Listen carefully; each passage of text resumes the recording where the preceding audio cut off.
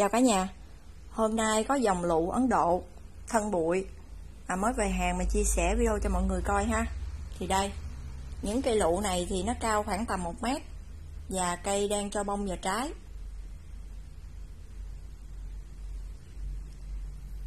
Cây rất là chắc khỏe ha.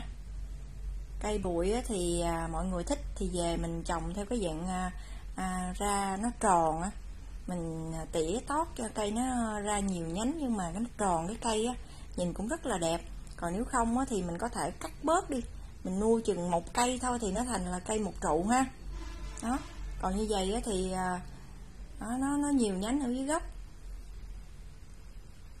Thì à, cái dạng mà nhiều nhánh như vậy á thì à, nếu mọi người biết cách tỉa tót trồng á thì cây cũng rất là đẹp nha. Đặc biệt là khi mình trồng trong chậu á đó mình tỉa cho cây nó tròn á thì nó sẽ ra trái đều hết rất là đẹp. Đây là những cái cây à, lụa Ấn Độ giá rất là mềm.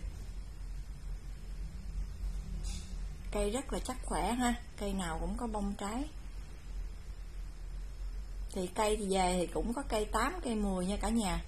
À, nếu ai mà nhanh tay thì liên hệ mình lựa cho những cây đẹp nhất ha.